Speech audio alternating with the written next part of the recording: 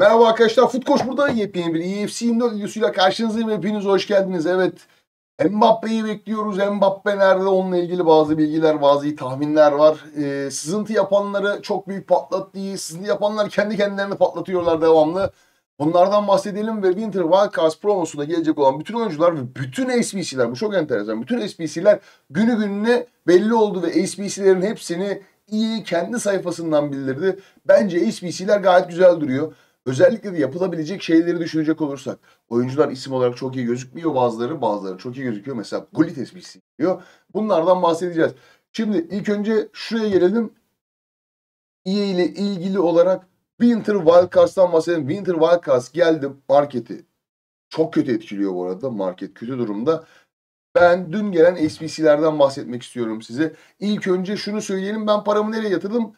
Informlara yatırdım. 40K'dan listeliyorum. Ufak tefek ufak tefek gidiyor. Ee, dün 37 37.5'lardan aldık. Bugün 34 35'lere düştü. 35'ten dün 34 dün gece 34'ten bir daha aldım ben. Ee, aldıklarımı da 40'tan falan listeliyorum şimdilik. Akşam bir şeyler gelirse güzel yükselir. Gelmezse herhalde 36-37'lerden 38'lerden belki de çıkmak zorunda kalacağız. Umarım öyle olmaz. Çok iyi gözükmüyor. Fazla düştü çünkü. Gözüken o ki HBC'lerdeki 85 çarpı 4, 83 çarpı 10'un yaptığı etkiyi göstermemiş.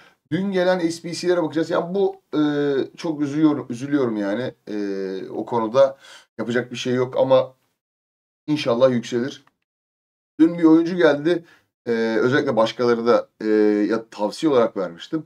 Grifo SBC geldi. Grifo SBC son derece ortalama bir oyuncu. 3 e, zayıf ayağı var. E, İstatistikleri ortalama, defansı yok, staminası düşük. Medium medium çalışma oranı belki staminayı kurtarabilir. E, Whip Cross, Whip Pass gayet güzel bir e, Playstyle Plus kanat oyuncusu için ama bu kartı kimyalamak için uğraşılacak bir kart değil. Çok ucuza geldi tabii. E, kart 84'lük bir kadro ve bir tane 87 istiyor. Odadan bahsedeceğiz. Oda çok kötü durumda. Market genel olarak çok kötü durumda. İnsanların hype'ı vesaire de gitmiş gözüküyor. Upgrade'lerde dediğim gibi 84 çarpı 5'in ee, hype'ı çok düşük kalmış gözüküyor. 87 artık campaign mix upgrade geldi. Ee, bu da Team of the Week istememesi markette Team of the Week'lerin düşmesine neden oldu. Umuyorum bugün akşam akşama kadar bir miktar zaten yükselecektir. O bir miktar yükselmenin üzerine bu akşamda çarşamba günü bir şeyler getirir. Bir canlanır. Çünkü fodder modur alanlarda herkeste bir geriye doğru gidiş var. Burada şunu söyleyeceğim. Bu paket yapılır mı? Bu paket fiyatı ucuz değil. 84 ve 86'lık iki tane kadro istiyor. Eğer ki iyi bir oynatacağınız oyuncu çekmediğiniz sürece veya 90 rating üzeri bir oyuncu çekmediğiniz sürece sizin için eksi yazıyor ve çok sayıda ortalama oyuncu çekiliyor. Ama iyi çekenler de var. İşte Guerrero filan tarzındaki oyuncular gayet güzel olacaktır. Harry Kane gibi 92 rating kartları çekmek iyi olacaktır.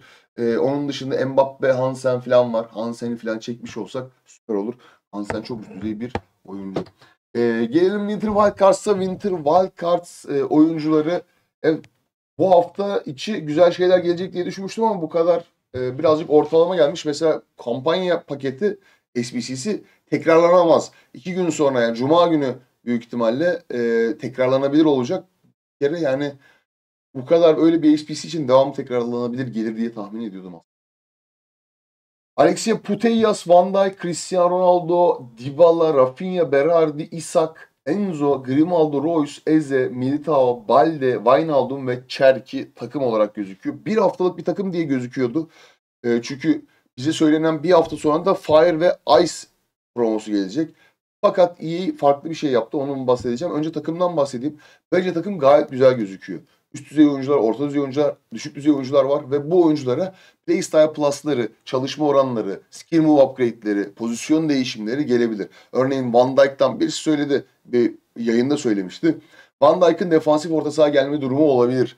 Defansif orta saha bir Van Dijk da fena olmayabilir. Geçen sene hatırlayacaksınız. Karim Benzema'nın 5 skill 5 sayfa merkez orta saha oyuncusu gelmişti. Kartı gelmişti. Santrafor oynayamıyordu. Şutu çok gerideydi. Ama işte defans falan yüksekti kartı. Şimdi bence bu kartı e, bu e, e, promo kartları gayet güzel. Özellikle de şunu söyleyelim. Şimdi bir promoda e, Militao, Van Dijk, Ronaldo, Puteyas varsa iyi. üst düzey oyuncular. Dybala, Rafinha gibi küçük upgrade'lerle yani küçük mesela Dybala'yı 4-4 yaptın, 90 hız verdin. Rafinha'yı 5 skill yaptın. Ee, kartlar yükseliyor. Enzo Fernandez zaten sevilen bir kart. Burada baktığımızda Balle gözükmeyen yıldızlardan birisi olabilir. Yani genelde Winter Wildcard her zaman her oyuncusu hemen hemen kullanılabilir olmakla övünülebilecek bir promodur. Ben de öyle bekliyorum şahsen. Ee, bazıları pek beğenmemişler promoyu şahsen. Ee, fakat hayvan gibi paketler falan geliyor. Bu arada dün EA ne yaptı? Dün EA bütün günleri yani 15 gün boyunca gelecek olan e, SBC'leri açıkladı. Cuma günü Gabriel Martinelli ve Ruud Gullit geliyor. Biz de bunu gördüğümüzde 200-300 coin'den Brezilya teknik direktör aldık. Gabriel Martinelli çok sevilen bir oyuncudur. Çok iyi bir SBC olacağını eminim. Hele 5 skill falan yaparlarsa bambaşka bir seviye olur. Gullit SBC'si var. Gullit SBC'si bakın resmine dikkat edecek olursanız geçen seneki Baby Gullit'e benziyor. Bu tarz bir SBC olarak gelebilir. Bunun biraz daha üzerinde istatistiklerle gelebilir. Kart 3 skill 5 sayfa yaktı. Medium medium'du. Geçen sene 4-5 gelebilir. Her şeyi yapabilirler. Yani burada sonuçta baktığımız zaman baby versiyon, küçük kardeş dediğimiz e, Zidane tarzı bir şekilde gelecek ve ucuz fiyatta gelecek diye düşünüyorum. Çünkü eğer ki e, burada bakacak olursanız Gullit'in fiyatı 3.6 milyon. Bu kartın düşük versiyonu olarak gelirse e, ucuz da gelecektir. Yani 500-600K'lık kart olarak da gelebilir bakın. E, geçen senelerde bu kartın fiyatı düşük oluyordu. Luis Hernandez herkes tırt demiş. Luis Hernandez harika bir oyuncu olacak. Ben eminim. Çünkü 4 skill 3 sayfa ayak kart. 4-4 gelirse ucuz da gelecektir. 4-4 gelirse oyundaki en iyi fiyat performans santraforlardan biri olacaktır. 100-200K'lar civarında, 300K'lar civarında belki de gelebilecektir. Hem SBC, yani hepsi düşük versiyon gelmeyecektir. Bazıları düşük, bazıları yüksek gelecektir. Kai Havertz çok seviyorlar King Kai'yi. Ben pek sevmem. Biraz driplingi zor. Çok uzun boylu çünkü kart. Ama ee, üst düzey upgrade olursa 4 skill 5 sayfa ayak bir kart. 5-5 gelebilir kart. Alessandro Del Piero e, Finesse Plus'ı var. Zaten güzel bir SPC olacaktır. Mbabu Stoper oynayabiliyorsa özellikle hayvan gibi bir kart olacaktır. Eski Mbabu'yu hatırlayanlar olacaktır. Dün geçen seneki Bobby Moore e, Dünya Kupası kartını hatırlayanlar bilecektir. Bobby Moore'a biraz hız verdiğiniz zaman oyundaki iyi SPC'lerden, iyi oyunculardan biri olacaktır. Bobby Moore'un e, play nasıl acaba?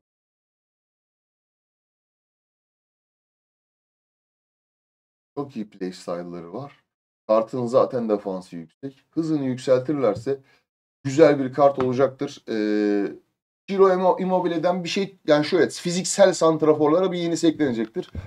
Ciro Immobile hayvan gibi bitirecek e, ama dribbling yapamayacak oyunculardan olacaktır. Ian Wright'ta da büyük ihtimal hızını yüksek verecekler. Bu sene gelen kartı geçen seneki mid kartına benziyordu. Geçen seneki base kartı iyi karttı. Çok sevilen bir karttı. Geçen sene çok ticaretini yapmıştım.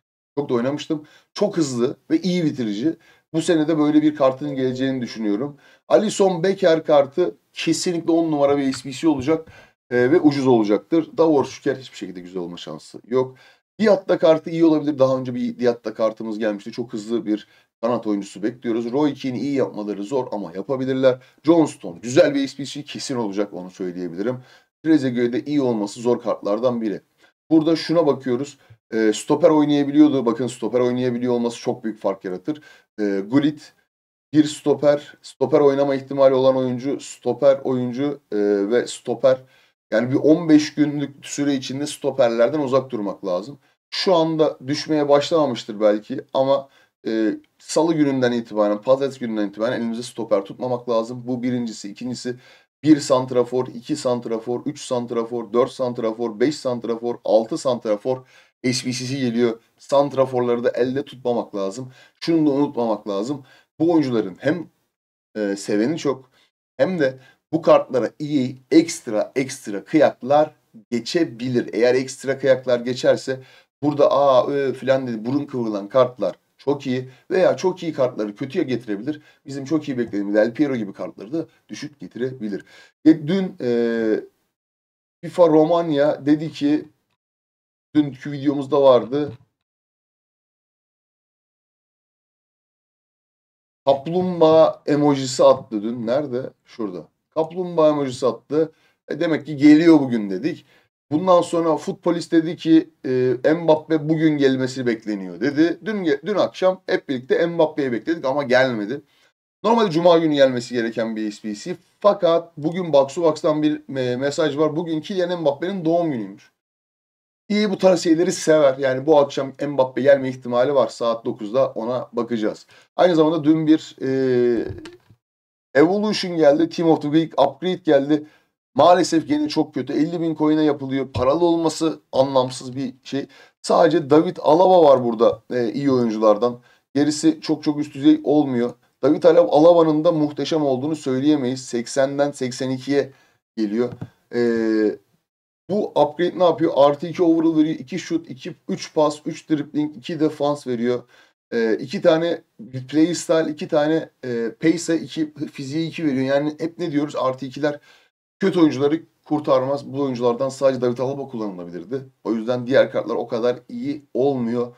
50 bine değecek kadar iyi olmuyor bana soracak olursanız. Fodder'ın durumu içler acısı. Şahsen 83'ler iyi durumda sadece. 82'ler 83'ler birazcık hareketlendi.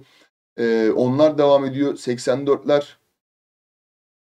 hareket etmiyor. 85'ler hareket etmiyor.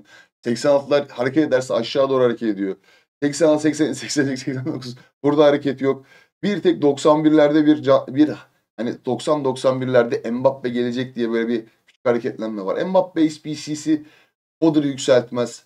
Hype'ı yükseltir. Yükselteceği şeyler 91, 92 rating, 90 rating Fodder'lar olacaktır.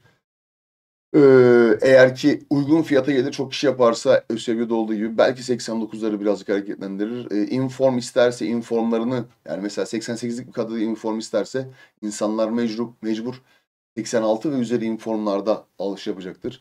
Oralarda birazcık sıkıntı var. Markete bakacak olursak market e, cuma cumartesi gününden itibaren aşağı doğru gidiyor ki bu normal değil. Pazartesi, salı, bugün çarşamba marketin yukarıya çıkması gereken dönemler ama çıkmıyor. E, Winter Wildcards promosu bayağı bir hareket yapmış. Gelecek paketler falan hayvan gibi gözüküyor. E, o paketlere bakıyor. Bir tane şey var paket mağazaya gelecek olan. 5 tane Hero Pick.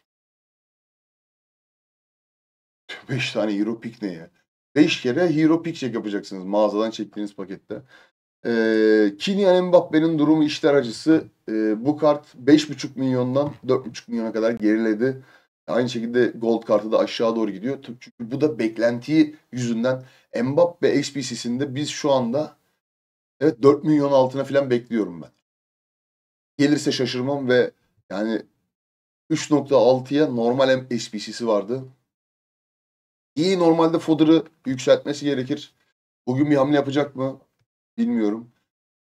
Ee, değişik bir durum, enteresan bir durum. Yani Fodder çok geride. Varan kartı e, Team of the Week olarak geliyor. Varan, Kim Min-jae, Allen Sen Maximin geliyor. Modric geliyor. Çok iyi bir Team of the Week sayılamaz ama kötü de bir Team of the Week değil bence. Ee, David Ginola'ya falan bakacak olursak hepsinde büyük düşüşler görüyoruz. Bakın büyük keskin düşüşler ve hep düşüşler. Ee, maalesef 65K dün geceden beri düştü rakamlar. Hünmin son dün 380 kaydı. Şu anda 358K. Ee, ve bugün paketlerden çıkacak. Bu bu iyi bir durum değil. Kuram kartı e, 15K yükseldi gösteriyor ama yani normalde bir 10K falan düşüşü var.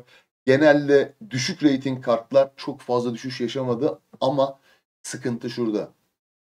Bugün yüksek olması gereken zamanda düşüş var. Düşüş olması gereken zamanda ne olacak? Mesela Cuma günü. Benim tahminim Cuma günü markette düşüş olacak. Özellikle altın kartlar falan bayağı bir düşecek diye tahmin ediyorum.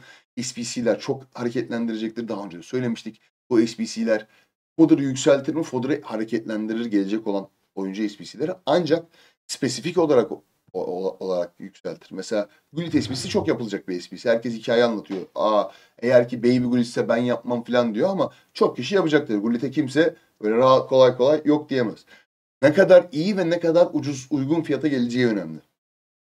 Çok iyi mesela çok iyi gelip 1 milyona gelse süper olur. Çok kötü gelip 300k gelse kötü olur. Fodder'da o zaman 1 milyona gelirse yüksek fodder hareketlendirir. Mesela Martinelli çok yapılacak bir SBC eğer 200-300K'larda olacaksa iyi fiyatlandırma demektir bu. Ve işte 5 skill olacaksa filan falan o zaman bunlar da ne yapacak aynı zamanda mesela sol kanat olarak geldi Martinelli sol kanat kartları düşecektir. Anlatabiliyor muyum? Ve her gelen SBC sıkıntı yaratacak. Özel kalecilerden iki hafta sonra, bu hafta bir sıkıntı yok ama iki hafta sonra kesin çıkmak lazım. İkon mikon fark etmez. Alisson SBC bütün kalecileri düşürür. Alisson SBC çok ucuz gelecektir diye tahmin ediyorum. Geçen sene gelen e, Dimitri Payet'i falan unutmamak lazım. E, Toni Kroos SBC'sini unutmamak lazım. E, SBC'ler güzel ve uygun fiyatlarla geliyor genellikle. Evet buna da bakacağız. Dediğim gibi e, Winter Wildcats market düşürdü. Biraz sıkıcı bir hafta oldu. Zarar edilen bir hafta oldu. Oyuncular, alınan oyuncular mesela ben takım vardı. Yarısı kar, küçük kar bırak. Yarısı da şu anda aldığım fiyattan gidiyor. Vergi zararı yapıyor.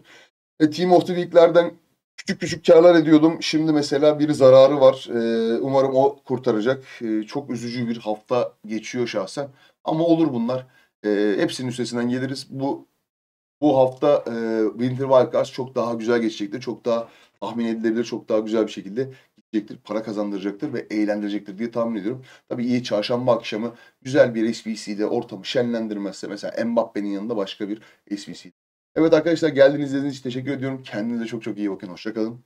Futkoş'ta kalın. Bugün Twitch.tv ve YouTube kanalında gene multi streaming yapacağız. Büyük ihtimalle 8'de başlarız ya da yani bilmiyorum öğleden sonra Fenerbahçe'nin maçı var 5'te 7'de Galatasaray'ın maçı var. Yani e, şeyi bilmiyorum. Belki de çok erken yaparız. E, çok karar veremedim şahsen. Kendinize çok iyi bakın. Hoşçakalın. Futbol.